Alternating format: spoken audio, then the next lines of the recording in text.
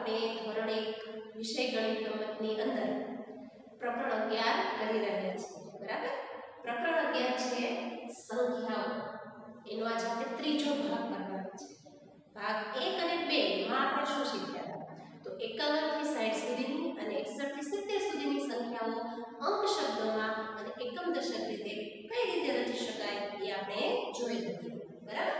હવે આપણે ભાગ ત્રણમાં જોવાની છે. 71 થી 80 સુધીની સંખ્યાઓ. કઈ રીતે બને છે અને કઈ રીતે એ અંક અને શબ્દમાં લખી શકાય એ આપણે જોવાની છે. બરાબર? તો ચાલો બધા જ મારી સાથે તૈયાર થઈ જાઓ સંખ્યાઓ શીખવા માટે અને બધાનું ધ્યાન સ્ક્રીન ઉપર. જુઓ બાળકો, આપણને સ્ક્રીન ઉપર દિવાશ્રીના કેટલાક જૂથો દેખાય છે. આપણને ખ્યાલ છે કે જૂથ છે દસ દિવાસળીનું એક જૂથ છે. તો આવી દસ દિવાસલીનું એક જૂથ, બીજી દસ દિવાસલીનું બીજું જૂથ, એવા ટોટલ સાત જૂથ છે. સાત જૂથ એટલે સિત્તેર દિવાસળી થાય, બરાબર? અને સાત જૂથ એટલે સાત દશક જે તમને દેખાય છે લખેલા. અને એકમના સ્થાનમાં જોઈએ તો માત્ર એક દિવાસળી એટલે એક એકમ, સાત દશક એક એકમ એટલે સંખ્યા બનશે એકોતેર જે તમને લખીને આપી છે, બરાબર? હવે નીચે જુઓ એવી જ રીતે દસ દસ દિવાસળીનું એક જૂથ એવા સાત જૂથ છે એટલે સાત દશક. બાજુમાં બે દિવાસળી છે એટલે એકમના સ્થાનમાં બે, સાત દશક, બે એકમ એટલે સંખ્યા બની બોતેર. સાતરે બગડે બોતેર. બરાબર બાળકો? એટલે આપણે એકોતેર અને બોતેર શીખ્યા. હવે નીચે જોઈએ.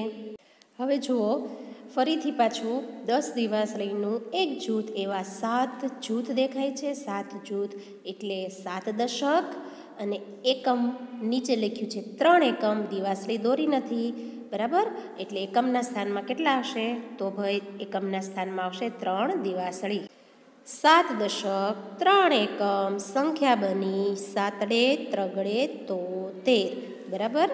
સાત દશક એટલે સિત્તેર, ત્રણ એકમ એટલે ત્રણ, સિત્તેર ને ત્રણ તોતેર નીચે જુઓ. સાત દશક એટલે કે દસ દિવાસળીનું એક જૂથ એવા સાત જૂથ એટલે સાત દશક. એકમના સ્થાનમાં ચાર દિવાસળી એટલે એકમના સ્થાનમાં ચાર.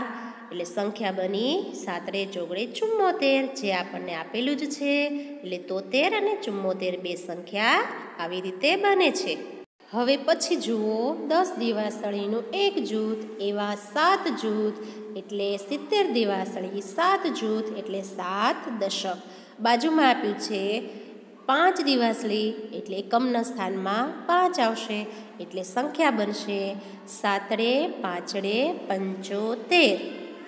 બરાબર બાળકો? નીચે જુઓ, ફરીથી દસ દિવાસળીનું એક જૂથ એટલે એક દશક એવા સાત જૂથ આપેલા છે.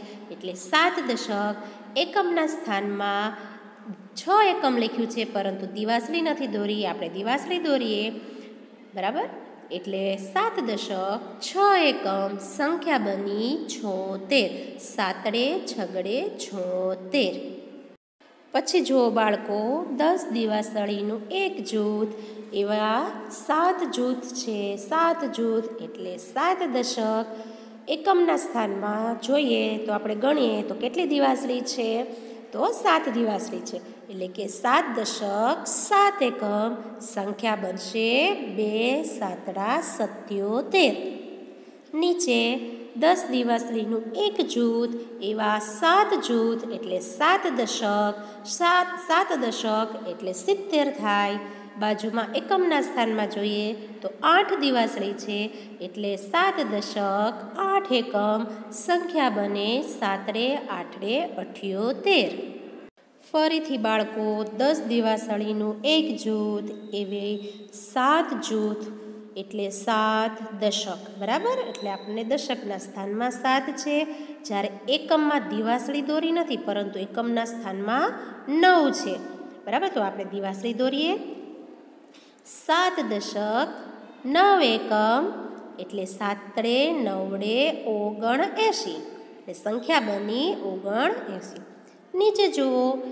દસ દિવાસળીનું એક જૂથ, એવા સાત જૂથ છે. સાત જૂથ એટલે સાત દશક.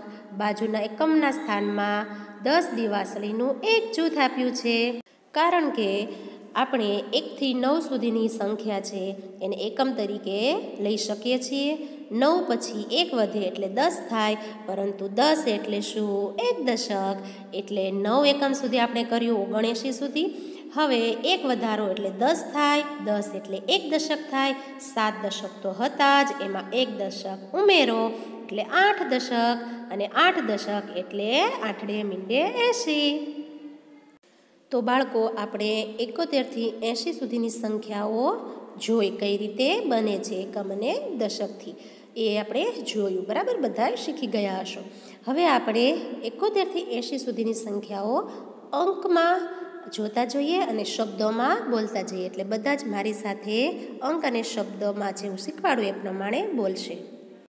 સાતડે એકડે એકોતેર.